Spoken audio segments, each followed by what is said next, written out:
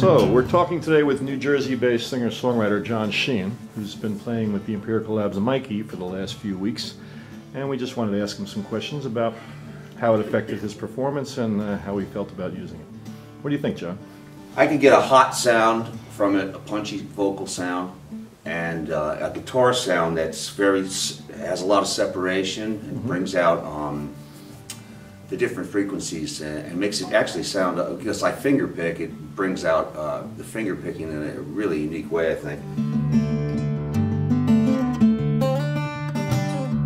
Finger picking has that dimensional sound anyway because you're running a bass line and then you're picking up treble parts that are counterpoint to it. What the Mike-e does is do that separation, and it actually sounds more like there's a, a second guy playing with me, you know, and that's great advantage to anyone that's playing solo. You always want to, you know, oh, you're a one-man band. But no, no, I'm one guy, that's all.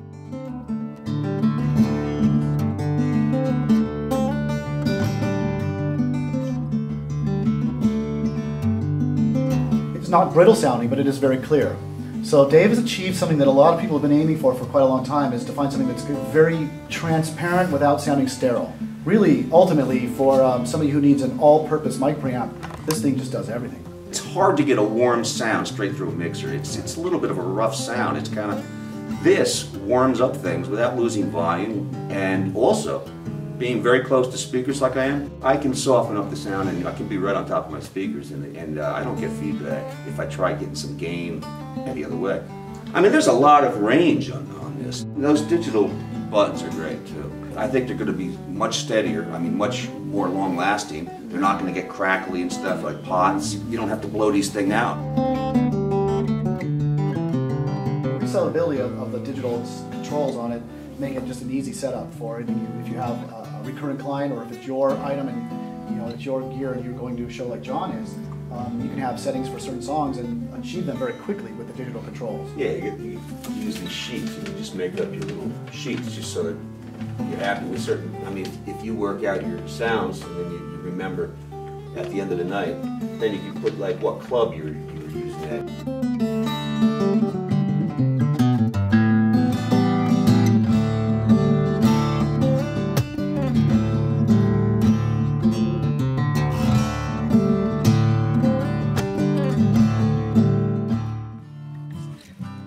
the, the coarse gain adjustment is in 5 dB steps, and there's two, two buttons that allow you to choose the gain, up or down. So we'll get a nice gain. How does that look, Ben? That looks very good. Very good. The next section is, uh, is the phase and the roll-off. Um, we're keeping it in phase, but we have a little roll-off right now. So using the 80 hertz roll-off, and 48 volts is not on, but of course the, the mic pre does come with it. So after the mic preamp and after the phantom power, the next section you have is the CompSat section. There's a, a dial here, a, a pot here that allows you to turn up the saturation. And you can see as I turn it up, the warm light begins to flicker. And if I kept going, the toasty light would begin to flicker.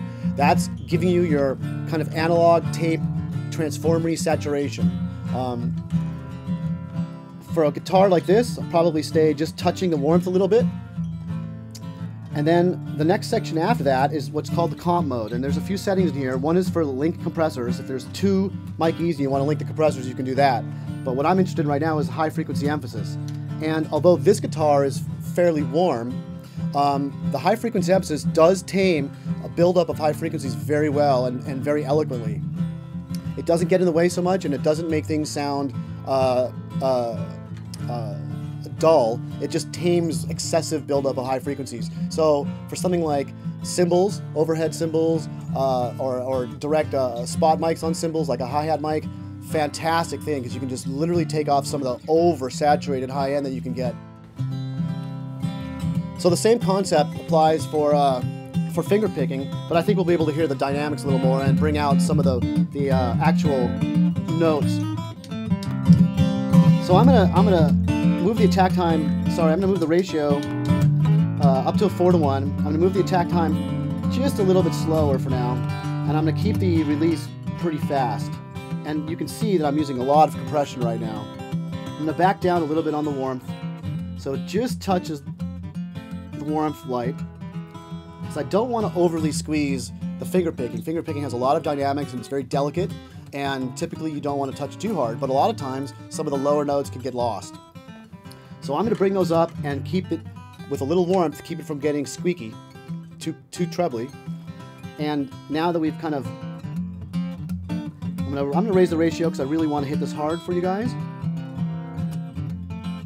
And now you can hear I've added a lot of attack to the signal compared to where it was when we started. And now I can, with the ability to mix in the dry signal again, we can make this, keep the attack and have it still sound very, very natural.